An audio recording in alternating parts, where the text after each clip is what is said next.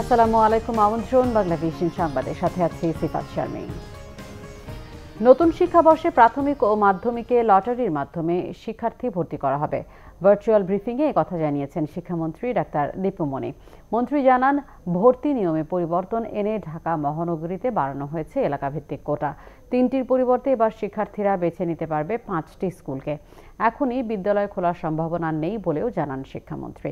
করোনার কারণে সঠিক সময়ে আগামী বছরের এসএসসি ও এইচএসসি পরীক্ষা গ্রহণ নিয়েও আছে সংশয়। বই প্রদান কার্যক্রম প্রধানমন্ত্রী উদ্বোধন করলেও বাতিল করা হয়েছে বই উৎসব। এছাড়া ডিসেম্বরের মধ্যেই এইচএসসি পরীক্ষার চূড়ান্ত ফলাফল সহ মার্কশিট দেওয়া হবে বলেও ব্রিফিংয়ে জানিয়েছেন শিক্ষামন্ত্রী।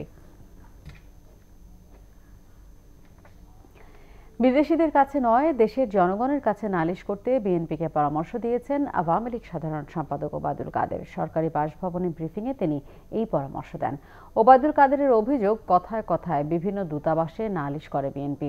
রাতের আধারে বৈঠক করে দূতাবাসের কর্মকর্তাদের সাথে।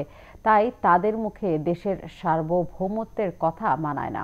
গণতন্ত্রহীনতা ও অগণতান্ত্রিক চর্চা বিএনপির দলগত বৈশিষ্ট্য। তাদের মুখে গণতন্ত্রের কথা, ভূতের মুখে রাম নামের মতো। বলেন, ক্ষমতা ভাগাভাগি, দুর্নীতি, ষড়যন্ত্র আর উচ্ছিষ্ট ভোগ করা বিএনপির ঐতিহ্য ও মজ্জাগত বঙ্গবন্ধু পরিবার নিয়ে মিথ্যাচার ও বিএনপির বিকৃত মানসিকতা ও ইতিহাস বিকৃতির ধারাবাহিকতা মাত্র বলেও মন্তব্য করেন ওবায়দুল কাদের।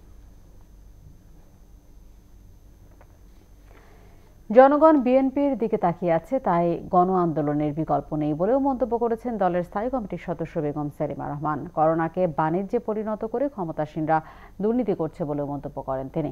জাতীয় প্রেস ক্লাবে জিয়া রহমান ফাউন্ডেশনের উদ্যোগে করোনা প্রতিরোধ, সচেতনতা ও স্বাস্থ্যসেবা কর্মসূচির উদ্বোধন করে তিনি এসব কথা বলেন। সেলিমা রহমান বলেন, গণতন্ত্র ধ্বংস করে সরকার জোর করে ক্ষমতায় টিকে আছে। নির্বাচন ব্যবস্থাকে প্রহসনে পরিণত করা হয়েছে, সাধারণ মানুষ বিএনপির দিকে তাকিয়ে আছে।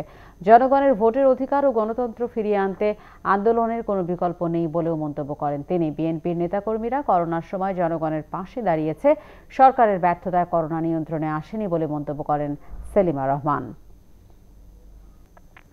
এই ছিল এখনকার মতো পরের সংবাদ সন্ধ্যা ছটা এর আগে পাঁচটায় রয়েছে নিউজ টপতে দেখার আমন্ত্রণ রইল এছাড়া বাংলা ভিশন সংবাদের সংবাদ সংশ্লিষ্ট অনুষ্ঠান দেখতে লগ ইন করুন Facebook dot com slash Bangla Vision এবং সাবস্ক্রাইব করুন YouTube dot com slash Bangla Vision নিউজে এতক্ষণ সাথে থাকায় ধন্যবাদ সবাইকে।